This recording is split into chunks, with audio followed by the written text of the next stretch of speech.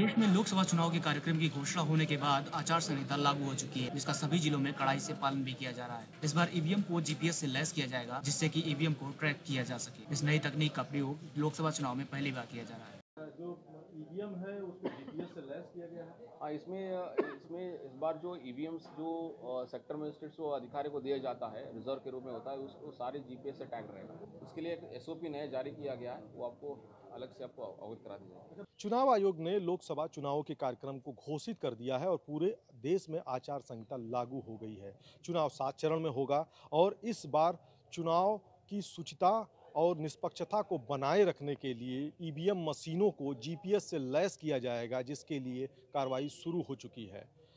जिला अधिकारी से लेकर चुनाव के ज़िले में बड़े अधिकारी भी इस तैयारी में जुट चुके हैं। धर्मेंद्र सिंह ईटीवी भारत, जौनपुर।